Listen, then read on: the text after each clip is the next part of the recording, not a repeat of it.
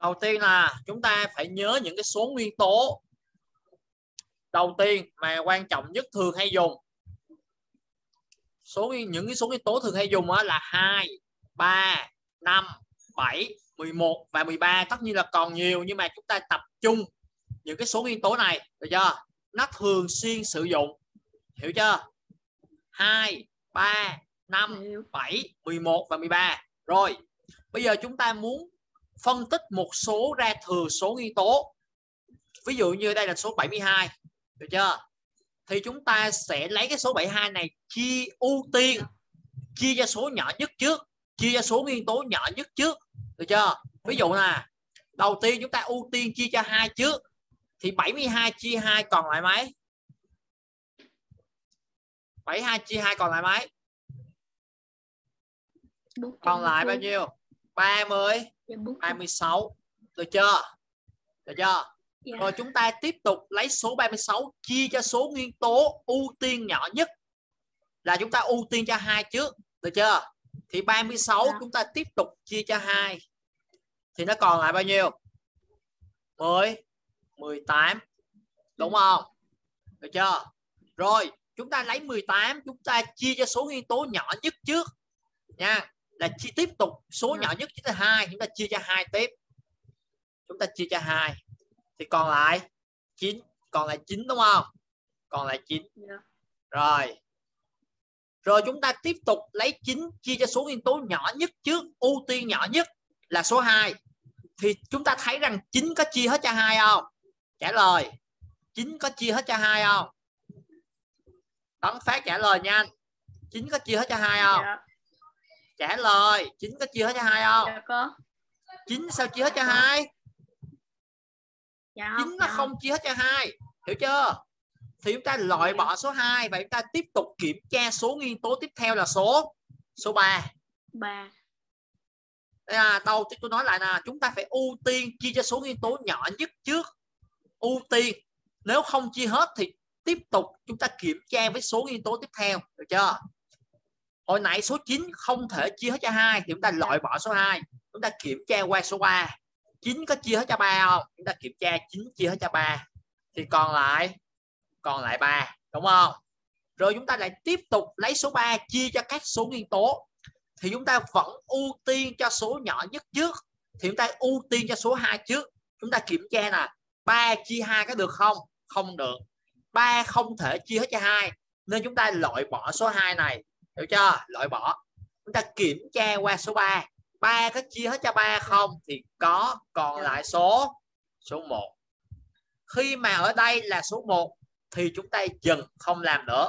Và chúng ta kết luận 72 bằng 2 nhân 2 nhân 2 ba số 2 nhân nhau tức là 2 mũ mũ 3 và ba số ba hai số 3 nhân nhau là 3 mũ 3 mũ 2 tấn phát hiểu cho đây không bây giờ chúng chúng ta sẽ lấy một ví dụ khác nha. Chúng ta lấy một ví dụ khác. Rồi, bây giờ lấy số 45 đây. Lấy số 45 nha 45 chúng ta phân tích cái số này ra thừa số nguyên tố hồi nãy 72 đây, nằm đây nè. Là bằng 2 mũ 3 nhân 3 mũ 2 nè. Được chưa? Giờ ta, giờ chúng ta sẽ lấy phân tích số 75 ra. Thì thứ nhất là chúng ta phải nguyên tắc là gì? Chúng ta ưu tiên, chúng ta chia số 75 lấy 75 chia cho các số nguyên tố. Được chưa? Ghi cụ thể là lấy 75 lấy số 45 chia cho các số nguyên tố, chia cho các số nguyên tố. Được chưa? Chia các số nguyên tố. Nhưng mà phải theo từ ưu tiên cho các từ thấp, ưu tiên từ nhỏ đến lớn. Được chưa? Chia cho các số nguyên tố theo từ ưu tiên ưu tiên từ từ nhỏ tới lớn được chưa? Từ nhỏ tới lớn ưu tiên. Nên trước hết chúng ta sẽ lấy 45 từ từ để tôi giảng. Chúng ta lấy 45 chúng ta kiểm tra cho số nguyên tố là số 2 trước được chưa? Chứ hiểu chưa? Chúng ta thấy 45 không chia hết cho hai thì chúng ta bỏ số 2 được chưa? Hiểu chưa? Rồi chúng ta mới kiểm tra qua số 3 thì chúng ta thấy là 45 có chia hết cho 3 thì chúng ta gắn vô 3 vô thì 45 45 như vậy á là 45 chia 3 sẽ còn lại bao nhiêu?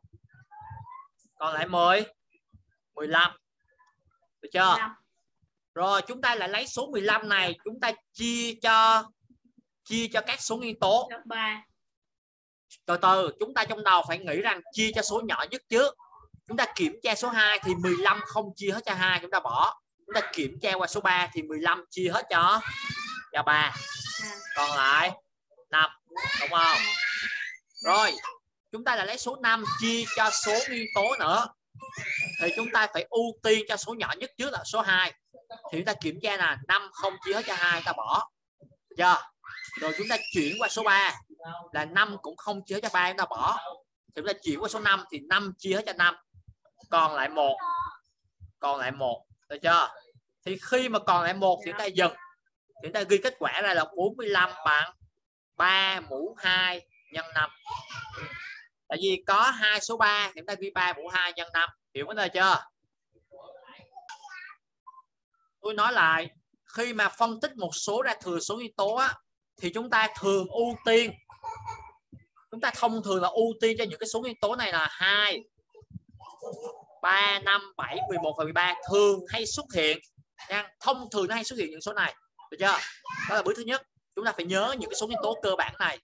Bước thứ hai, em muốn phân tích một số ra thừa số nguyên tố thì em lấy số đó. Ví dụ như phân tích 72 thì em lấy 72 em chia lần lượt cho các số nguyên tố, chia cho các số nguyên tố. Được chưa? Nhưng phải ưu tiên từ thấp đến cao. Ưu tiên từ nhỏ đến lớn. Được chưa? Là ưu tiên đầu tiên chúng ta phải kiểm tra số 2 trước. Rồi chúng ta kiểm tra số 2 xong rồi mà nếu nó chia được thì phải chia cho số 2 chứ không được chia cho số số 3 được chưa?